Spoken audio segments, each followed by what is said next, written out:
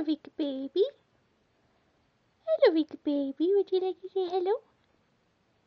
Say hello. Come on, say hello.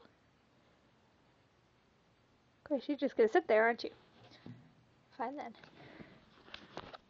Hello, it's me, Libi. Um, yeah, so I'm just trying out my uh, awesome camera on my phone, and it's blinking like crazy. It's kind of distracting, but uh, as you can see, I am in my pajamas, pretty much. Um, yeah, so I'm in my pajamas. I have no makeup on.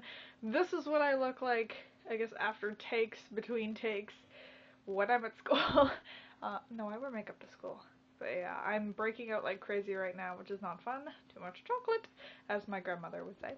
Um, yeah, I'm just chilling out in my room. I thought of a really funny idea for a spoof on a movie I just saw called Timer. And if anybody has seen this movie, please let me know because it's actually a really good movie.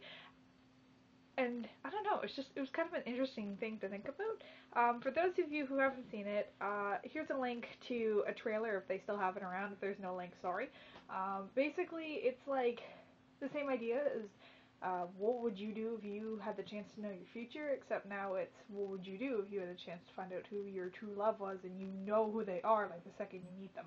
Um, I don't know any of the big stars in it. There wasn't really any. It's not like Leonardo DiCaprio or anybody like that, but oh, it's kind of interesting. Um, so because there's a giant storm rolling through into Canada, I'm gonna be stuck at home tomorrow. So I guess tomorrow I will be filming and doing math homework. Yeah. Oh, and drawing. Because I have to tell you guys about my awesome plan with Busboy. Because he's an artist, I figure what I'm gonna do to get his attention is bring my sketchbook.